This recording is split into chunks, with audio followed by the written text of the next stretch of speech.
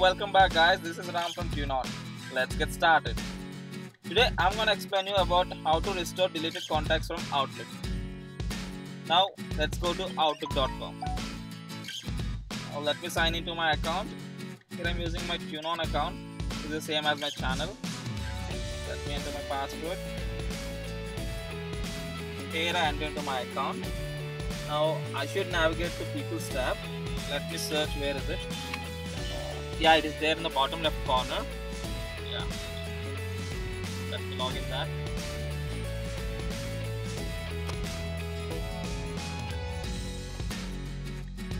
Here are my contacts.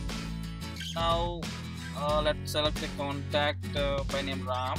Actually it's my contact only. Shall delete it. If i want that contact back if i want this contact back i'll go to manage and tap on restore deleted contacts. This redirects here.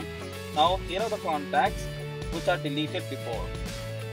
Now select the contacts you want back and tap on recover which is on the top left corner.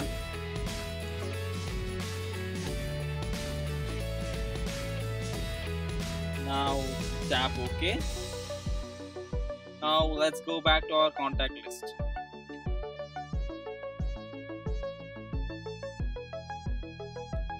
Only deleted contacts from the past 30 days can be recovered.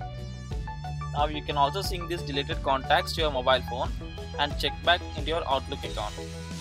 Now let's redirect to Outlook inbox.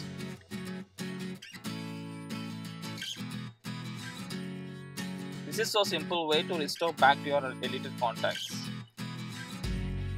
This is Ram signing off from TuneOn.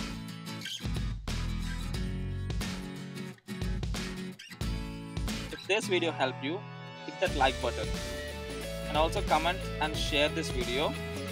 And as always, don't forget to subscribe to our channel.